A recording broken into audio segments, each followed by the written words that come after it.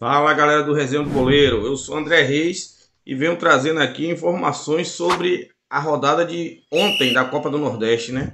Fazer um breve resumo aqui para a galera ficar antenada aí de como funcionou ontem né, a, a Copa do Nordeste e os resultados e as classific a classificação atual da Copa do Nordeste.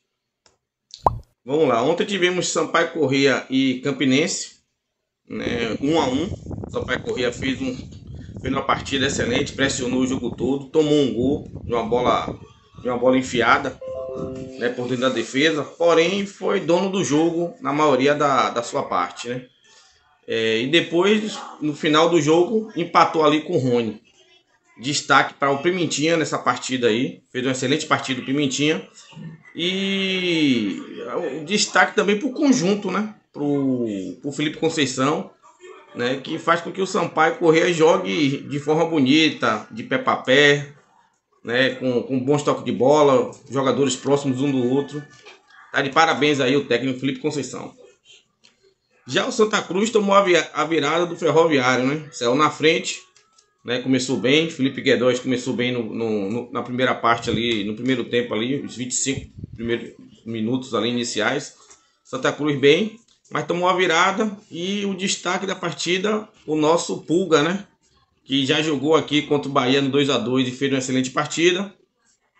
Ontem também contra o Santa Cruz, o Pulga novamente fez uma partida excelente, né? E, e foi autor do, do gol da virada.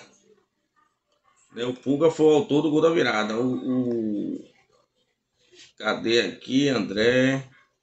Pronto. Com gols de Eric Pulga nos acréscimos e do Ciel né, aos 81 minutos. Né, faltando aos 41. Então foi uma virada assim de, de, de aos 81 minutos, né? Faltando 9 minutos para acabar, aos 36 do segundo tempo, o Ciel fez um gol e o Eric Pulga virou o jogo, né? Pra, para o, o Ferroviária. O Ferroviária, vamos ver aqui a posição do Santinha. O Santo é quinto colocado, né? Do grupo, onde o Ceará é o líder. E o Ferroviário é terceiro colocado com 13 pontos, fazendo uma campanha extraordinária na Copa do Nordeste. Vamos mudar aqui a chavinha. Vamos lá para Esporte Sergipe. Esporte também bem muito bem, obrigado com o técnico Ederson Moreira. Destaque da partida, Wagner Love e novamente o Juba, né? Juba fez uma excelente partida, o Wagner Love também. Com menos um, o Sergipe empatou. O Sergipe também que faz uma bela campanha. Né? E aos 89 minutos, aos 44 do segundo tempo, desculpa, o Rafael Thierry, que faz uma partida excelente, ou que faz um, uma temporada excelente nesse primeiro trimestre, faz um gol de cabeça e decreta a vitória do, do esporte diante do Sergipe. Novamente o Wagner Love fez uma excelente, um, uma excelente partida. Novamente. O esporte que é líder do seu grupo. Né? Já o Sergipe é o terceiro colocado, vem bem também no grupo B. Né? Então foi um, um, um, excelente jogo, um ótimo jogo para se assistir. Viu?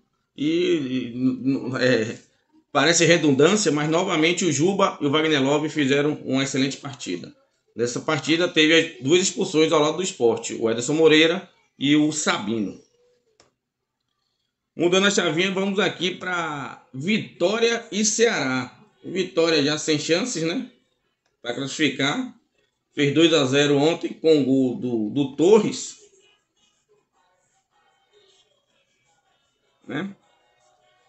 E, e o Vitória está. Qual a colocação do Vitória, André? Colocação do Vitória no campeonato. Vamos lá procurar, né? Vamos lá procurar o Vitória, que é sétimo colocado, né? Da competição. Já o Ceará, líder isolado, está com 13 pontos. Ceará que vem. O Ceará vinha muitas partidas sem perder, viu, André? E, e ontem o Vitória fez 2 a 0 e ganhou o jogo. Mas é uma pena que o Vitória veio ganhar agora, né? Já sem muitas sem chances para classificação. Vitória já não tem mais chance de classificar na Copa do Nordeste, foi desclassificado pelo Nova Iguaçu da Copa do Brasil, está fora do Baiano e, e vira suas atenções agora para o Campeonato Brasileiro da Série B. Pronto. Esse foi o nosso resumo aqui, né, da, da Copa do Nordeste dos jogos de ontem, né, que tivemos quatro jogos ontem e essa é a classificação atual. Vamos lá, André, para a classificação atual aqui da Copa do Nordeste, né? G4 do grupo A, Esporte, Fortaleza, Ferroviário e CRB. G4 do grupo B, Ceará, ABC, Sergipe e Náutico. Então, galerinha, compartilha, curte aí. Amanhã tem resenha de boleiro, né, com o Maxo, Janderson Dantas, nosso diretor Márcio e nosso âncora Michel. Beijo no coração de vocês. O Nordeste é o mundo.